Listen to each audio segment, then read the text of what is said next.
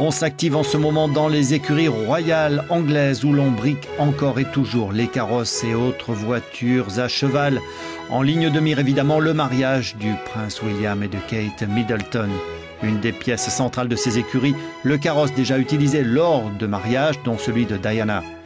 L'écuyer de la couronne, le colonel Toby Brown, doit sentir monter la pression. Son enthousiasme, quoique réel, est très réservé. Il y a quelque chose de très spécial au sujet de cette occasion. Cela n'arrive qu'une fois au cours d'une vie. Il est donc très important que tout se passe bien. Parce que, comme vous le savez, le monde entier aura les yeux braqués vers nous ce 29 avril.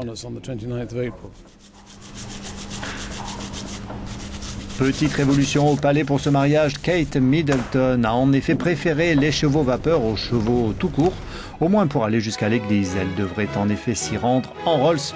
Non, pas celle-ci, mais la Phantom 6 qui avait rencontré récemment la colère des étudiants lors d'une manifestation et qui devrait être fin prête pour l'occasion.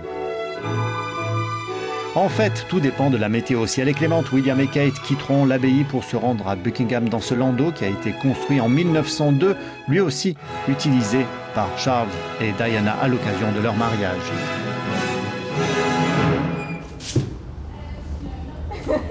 Les écuries abritent une trentaine de chevaux, 18 d'entre eux seront mis à contribution ce 29 avril et là aussi une attention particulière est consacrée aux moindres détails.